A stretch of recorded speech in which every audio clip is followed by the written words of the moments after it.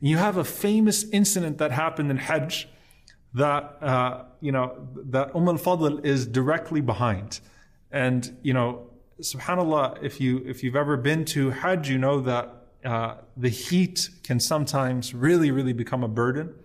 And I want you to imagine being in Arafah and under the hot sun of Arafah and not knowing whether you should be fasting or not.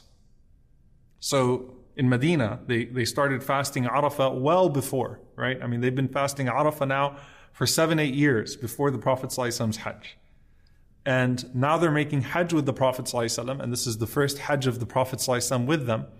And they notice that the Prophet has not eaten or drink, drank anything and that he's just making dua. He's exerting himself in dua. He put his hands up, alayhi salatu wasalam, after salah and he continued with his hands up. Never once do his hands come down, alayhi salatu wasalam.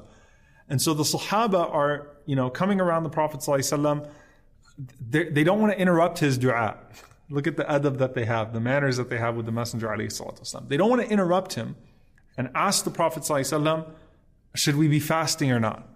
And at the same time, they're getting dehydrated, it's hot, they don't know if they can break their fast or not. Umm al-Fadl, Lubaba, may Allah be pleased with her, she sees the scene happening.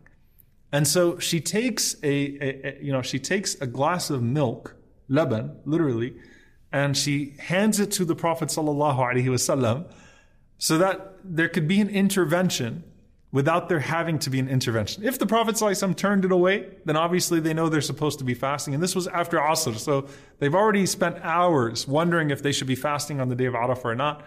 When Umm al-Fadl hands him the glass, the Prophet ﷺ knows exactly what is happening. So the Prophet ﷺ, he raises his, uh, his glass to the sky and then he drinks from it, alayhi salatu wasalam.